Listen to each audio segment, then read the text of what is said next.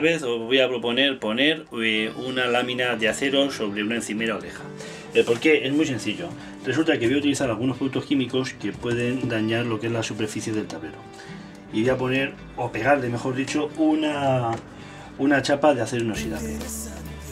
Los componentes que lo podríamos pegar podría estar la cola de contacto, cola caliente o bien los adhesivos de montaje. En este caso, como ya hemos utilizado en varias ocasiones la cola de contacto, lo que voy a hacer va a ser utilizar adhesivos de montaje.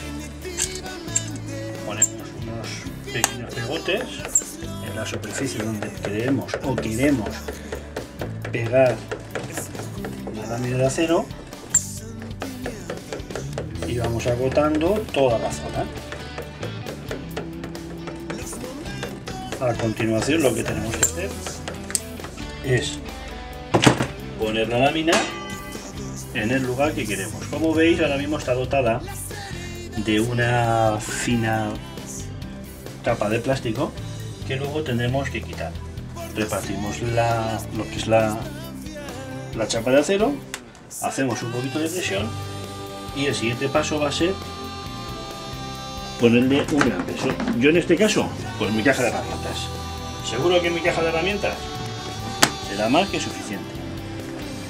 Nos cercioramos que está bien en su lugar y ya tenemos, esperamos, ahora esperamos secar unas 24 horas y luego esta capita de aquí, la de plástico, la retiraremos.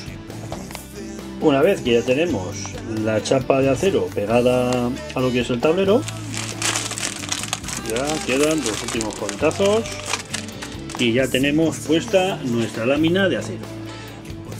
Como veis ya tenemos finalizada el pegado de la chapa de acero sobre la encimera. Esto lo podemos hacer sobre cualquier superficie, ya sea una oreja o azulejos, en fin, los que nos convengan.